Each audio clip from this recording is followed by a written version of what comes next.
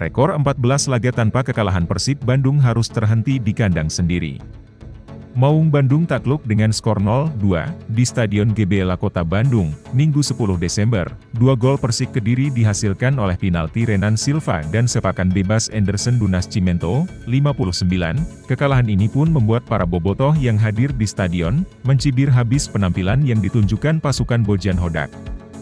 Bahkan, nyanyian bernada minor pun diserukan bobotoh, saat Mark Klok dan kawan-kawan hendak meninggalkan lapangan menuju lorong ganti. Atas hasil ini, tim Macan Putih pun memperbaiki posisinya, dengan menempati peringkat ke-6 dengan raihan 33 poin, sedangkan, Persib tertahan di peringkat ketiga, dengan 39 poin.